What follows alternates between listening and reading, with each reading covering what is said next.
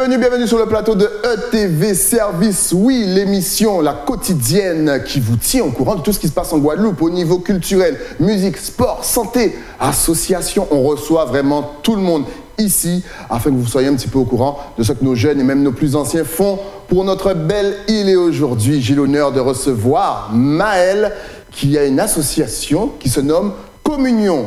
Communion comme union, la communication dans l'union des associations. T'as tout compris Yeah C'est- et je viens d'inventer ça, c'est rien que pour elle, tu peux le prendre. Je vais pas, t'inquiète, il n'y a pas de droit à, à payer. D'accord. Ça va Très bien. Bien installé Très bien. Est-ce que tu es prête? Parce qu'on va parler donc de tes actions, de communion et de tout ce que tu fais pour les associations de la Guadeloupe Ben ça marche. hein. Ça marche, alors un petit jingle et on se retrouve juste après. Donc nous sommes avec Maël, donc comme je l'ai dit tout à l'heure, donc ta- ton association s'appelle Comme Comme, comme comme de communication, Union, là on a bien compris. En quoi consiste-t-elle? Alors, euh, Communion associative, c'est une association qui œuvre sur trois pôles. La communication, comme tu l'as dit, Ouais. l'accompagnement de tout ce qui est relatif au projet et surtout la formation des acteurs associatifs. Donc ça veut dire en fait que vous aidez les associations qui le désirent, en fait, à gérer leur communication, à se faire voir et même à aboutir euh, certains projets qu'ils ont en tête. Tout à fait. Comme euh, les, aider à mettre en place des projets euh, de tout type, hein. Bien entendu à dimension associative, les aider à monter des dossiers de subvention et également ben, de les former sur ces thématiques pour qu'ils puissent être autonomes dans leur gestion au quotidien. Ok, donc au niveau de la communication, on va le prendre par étapes. Communication, moi quand on me dit communication, obligatoirement je pense à Internet, au visuel publicitaire. Est-ce que c'est ça? Est-ce que c'est toucher les médias? En quoi ça consiste exactement la communication? Alors effectivement, il y a plusieurs dimensions dans la communication.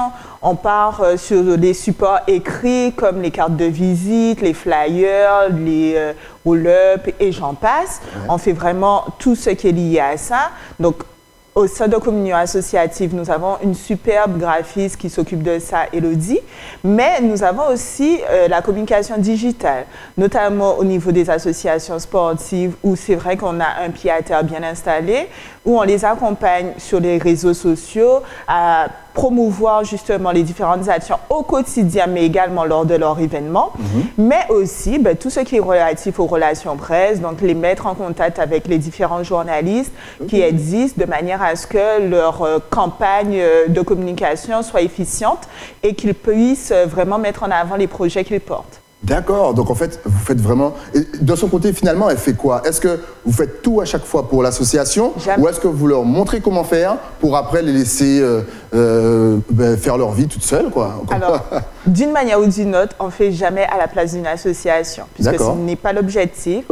Euh, effectivement, il y a deux niveaux. Il peut y avoir un niveau où on les forme à elles poursuivre les différentes actions qu'elles doivent euh, faire au long de l'année. Ouais. Mais il y a aussi un niveau qui s'appelle l'accompagnement. D'accord. Je- je- C'est vraiment une collaboration. On, on met en place un plan de communication, mais euh, l'association est censée tout comprendre sur le fonctionnement qu'il y aura. Et aussi, on, on est en coopération. Vraiment, je tiens à, à le dire tout le temps à mes, à mes clients, c'est de la coopération. De ce fait, on, on prend le temps d'avoir des réunions de travail et tout au long de l'accompagnement, on a un réel contact avec le client de manière à ce qu'on soit sûr qu'on garde l'identité de l'association. Et pour moi, c'est l'une des choses les plus importantes. Ok, alors je dirais que, mine de, en 20 ans, euh, l'image et le visage de la communication a beaucoup changé. Avant, on avait le, bon, le média de base, c'est-à-dire bon, radio, télé. Maintenant, il y a énormément de choses qui sont, qui sont apparues. Est-ce qu'on peut faire sans ces, sans ces nouvelles technologies ou c'est impossible de, de- de passer outre les réseaux sociaux, genre Facebook, Instagram, euh, euh, Twitter, etc. On, on- on- est obligé d'être sur ça? Ben, Aujourd'hui, il n'y a pas grand intérêt de ne pas s'y intéresser, j'ai envie de dire. C'est Ouais. un jeu de mots euh, subtil, mais je le dis souvent. Puisque de toutes les façons, ce sont des réseaux où il suffit de s'y inscrire gratuitement. Donc, ça ne coûte en rien d'essayer de, maîtriser plus ou moins ces réseaux sociaux. Après, si vraiment vous n'êtes pas capable ben, de gérer, vous avez des structures comme les notes qui peuvent vous y aider. Donc, autant optimiser la visibilité de son association mhm. que de, mettre de côté un public qui est de plus en plus euh, euh, tourné vers le digital. Ce serait dommage, je trouve. Ça, c'est pas faux. Euh, donc, tu m'as dit, tu m'as dit hors antenne que en fait, vous avez déjà aidé plusieurs associations. Et en fait, il n'y a pas un type d'association que vous aidez, vous aidez vraiment toutes les associations. Tout à fait. Nous sommes autant sur les associations sportives, donc quelles que soient les disciplines sportives, mais également sur les associations culturelles qui, qui elles, euh, font un réel travail souvent au sein des quartiers, mais euh, également au niveau de, de, tout ce qui est lié à l'artistique, mhm. puisque nous avons de plus en plus d'associations qui, dans ce cadre, nous contactent. Mhm. L'éducation aussi, il ne faut pas que je l'oublie, puisque mine de rien, on a mis en place euh, avec une association, une école euh, de, alternative. Au niveau de Saint-Martin aussi, on a, on a, mis en place une association qui œuvre vraiment sur les difficultés cognitives des enfants. Donc, ce sont autant de formes d'associations que nous pouvons accompagner, puisqu'effectivement, euh, ben, nous nous sommes intéressés à l'ensemble du maillage associatif de manière à vraiment pouvoir répondre aux besoins euh, sur le territoire. Mais c'est un travail énorme, c'est extraordinaire. N'hésitez pas vraiment à contacter comme Union. De toute façon, après, on va vous donner toutes les adresses. Alors, si on veut vous rencontrer, est-ce que vous faites, euh, je ne sais pas, des journées portes ouvertes, des journées où on peut venir vous rencontrer et s'informer un petit peu plus? Est-ce qu'il y a des actions de votre côté que vous faites déjà pour mieux vous faire connaître? Alors non, on n'a pas encore euh, prévu de journée porte ouverte. c'est peut-être une idée à retenir. après, après, le slogan, je te donne encore une autre idée. Il n'y a pas de problème, je suis là pour ça. C'est une idée à retenir. c'est gratuit. Mais c'est vrai que nous sommes très accessibles ben, justement au niveau des réseaux sociaux. Donc en général, les gens nous retrouvent facilement euh, il ne faut pas hésiter à prendre contact avec nous, même au, niveau euh, des appels téléphoniques. Nous sommes très réactifs, nous avons un site internet. Donc c'est vrai que ça permet à tout un chacun de s'y retrouver et on essaie d'avoir le plus de proximité que possible avec les différents acteurs associatifs. Euh, donc, euh, ben, écoutez, il n'y a qu'à faire, qu'à nous contacter, mais c'est vrai que nous sommes ouverts euh, à toute sollicitation et surtout à l'écoute de tous les besoins. Même si ce n'est qu'une question, je réponds toujours à une question, même au téléphone. Ah, ça c'est bien ça. Ah oui, être réactif, c'est super important. Je pense, je crois savoir que y a, qu'il y a une manifestation je pense que euh, ça doit être vers le 15 octobre, si j'ai une bonne mémoire. C'est bien ça Est-ce que tu peux nous en parler? Si, bon, vous l'avez loupé, que vous voyez l'émission après, c'est dommage. Il faudra aller sur la page Facebook de Communion. Est-ce que tu peux nous en parler? Alors oui, euh, ce sera un atelier de formation comme on le fait régulièrement, sur la thématique euh, de diriger une association qui est une thématique très, très importante, puisqu'aujourd'hui, il y a quand même pas mal d'associations qui peinent à avoir une bonne gouvernance associative. Pour la première fois, l'événement aura lieu à la librairie générale qui est à Jarry, qui a créé tout un nouvel espace coworking et qui donc a accepté de, nous recevoir. Nous sommes l'un des premiers events qui vont porter. Donc euh, vraiment, on espère qu'il y aura de nombreuses personnes à cet événement.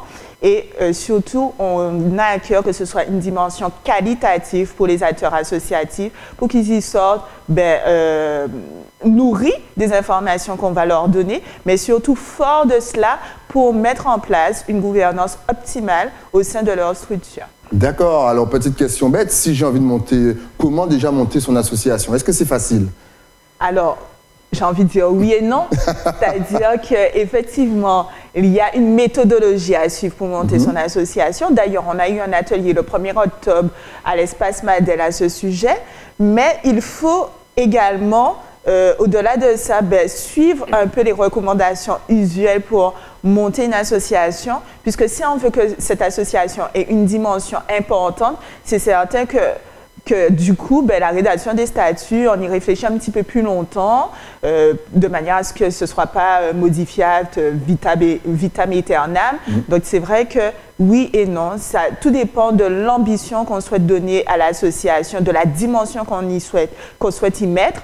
Et en fonction de ça, ben voilà. Est-ce qu'il y a beaucoup de paperasse? Parce que souvent, c'est ça qui fait peur, c'est l'administratif. Alors, est-ce qu'il y a beaucoup de papiers à remplir? Est-ce qu'il y a beaucoup, énormément de démarches? En fait, est-ce qu'on passe plus son temps la tête dans les papiers qu'à gérer son, son association? Euh, là aussi, pareil, oui et non, puisqu'aujourd'hui, il y a la démarche, la e-déclaration d'une association qui se fait entièrement en ligne sur le site des services publics. Donc, effectivement, ça permet d'aller beaucoup plus vite dans le traitement du dossier, mais également euh, dans, dans une gestion autonome relative à la déclaration. Mais n'empêche qu'avant de passer à la déclaration dématérialisée, il faut quand même rédiger les statuts. Et comme je l'ai redit, ben, tout dépendra en fait du sérieux que vous, vous souhaitez mettre dans l'association. Si effectivement, euh, puisque aujourd'hui, il faut savoir qu'il y a beaucoup de, de plus en plus d'associations employeuses. Donc, si effectivement, il y a une dimension euh, liée à l'emploi, la rédaction des statuts va demander beaucoup plus de sérieux que si c'est une simple association euh, de regroupement d'amis euh, pour boire et manger. Parce qu'il y a tout type d'associations. c'est vrai. Mais donc, du coup, il faut bien comprendre qu'en fonction du degré d'implication qu'aura l'association dans euh, la vie économique et sociale, forcément, la rédaction des statuts sera plus ou moins pointilleuse, tout simplement. OK, donc au final, si je veux montrer mon association et que je n'ai aucune idée, mais vraiment aucune idée de la façon de faire, je peux venir voir Communion. Tout à fait. Et Communion va me diriger, il doit faire, tu dois faire ça, tu dois faire ça, tu dois faire ça. Tout à fait. Voilà. Donc n'hésitez pas encore une fois, ils sont là pour vous. Vous avez peur de franchir le pas, Communion est là pour vous. Et dernière petite question, comment, comment bien diriger son association? Ah ben ça, ce sera justement euh, la thématique de mardi soir. Tout à fait. Euh, mais effectivement, bon, pour donner quelques, quelques pistes, il faut faire attention à bien définir les rôles de tout un chacun. Donc ça, c'est quelque chose qu'on verra justement au cours de la formation. Il faut aussi veiller à des choses de base, respecter les statuts de son association. Puisque souvent, on parlait tout à l'heure de je crée mon association, je crée mon association avec des statuts bien définis, puis, une fois qu'elle vit, je m'éloigne de tout ça. Voilà. Et ben, quand je m'en éloigne, souvent, ben, ça se voit au sein de l'association. Et c'est là que naît les discordes. Donc, on va mettre l'accent sur tout ça au cours de la formation. Justement, quelque part, en termes de piqûre de rappel, de sensibilisation des dirigeants associatifs, parce que euh, il y, a des, il y a des plaintes au mhm. niveau des acteurs associatifs parce qu'ils disent que c'est de plus en plus difficile de diriger une association, mais il faut avoir la méthodologie pour le faire. Donc au niveau de communion associative, c'est vrai qu'on a construit toute une expertise autour de ça mhm. et justement, on est prêt mardi à y répondre. Et ça prend énormément de temps de diriger une association oui. Est-ce qu'il y a des nuits blanches là encore? Est-ce que comment ça se passe? Est-ce qu'on est sans arrêt au, euh, téléphone? Est-ce qu'on est devant son ordinateur à envoyer des mails? C'est toujours comme ça. Donc, est-ce qu'il y a beaucoup d'implications? Moi, je le suis, dans tous les cas, parce qu'effectivement, moi, mon association a une vocation employeuse, donc forcément, euh, ben, c'est comme gérer une entreprise, en vrai, c'est exactement la même chose, puisqu'on a les mêmes obligations en tant qu'employeur, et puis de toutes les façons, on exige aujourd'hui euh, des acteurs associatifs qui soient qualifiés dans ce qu'ils font. Donc, euh, ma dimension est celle-ci. Mais comme je, je, redis, vous avez des simples associations qui, elles, pour le coup, ben, ne reçoivent pas forcément de subventions, n'ont pas forcément à gérer cette lourdeur administrative mhm. parce que c'est juste une manière de déclarer l'union de personnes, euh, mais qui se réunissent pour, pour des, des, choses beaucoup plus simples. Ok, on a tellement de questions à poser, mais encore une fois, je pense que tout sera dit. Donc, c'est mardi que ça se passe, le mardi 15, où et à quelle heure? Alors, mardi 15, euh, donc pour le coup, on sera à la Librairie Générale pour la première fois de 18h à 20h. Pour les inscriptions, tout est sur notre site internet, sur notre page Facebook, sur notre compte Instagram. Donc n'hésitez pas. Vous pouvez également euh, nous appeler euh, sur mon numéro de téléphone. Je peux le donner si tu veux pas être dérangé à n'importe quelle heure, il n'y a pas de... C'est le numéro professionnel. c'est le numéro professionnel de vas-y. C'est le 06 90 84 22 02. Donc, c'est le numéro justement pour s'inscrire euh, aux différents ateliers, pour prendre rendez-vous ou pour poser euh, les questions dans la mesure du possible qu'on peut répondre. D'accord, toutes les adresses se sont affichées bien sûr à l'écran Instagram, Facebook, comme Union. N'hésitez pas, si vous avez des questions, si vraiment vous êtes dans le doute, allez les voir parce qu'ils sont là pour ça. Maël, merci d'être passé sur le plateau de TV Service. Tu repasses quand tu veux, dès que tu as une information à nous donner, dès que tu as une manifestation, une journée porte ouverte. C'est ça. Tu repasses. voilà. Un dernier petit mot peut-être pour motiver les gens. Euh, Guadeloupe, Antilles-Guyane, ta caméra est juste là. N'hésite pas. Ben, justement, ben, c'est l'occasion de dire que Communion Associative, nous sommes certes en Guadeloupe, mais nous répondons également aux besoins des associations en Martinique, à Saint-Martin, en Guyane. Pourquoi pas? Je n'ai pas encore eu cette occasion, mais pourquoi pas? Donc, il suffit juste de nous contacter. Et puis, n'oubliez pas que la mission associative, c'est une belle cause et ça vaut le coup d'être vécu parce qu'on partage de très belles expériences.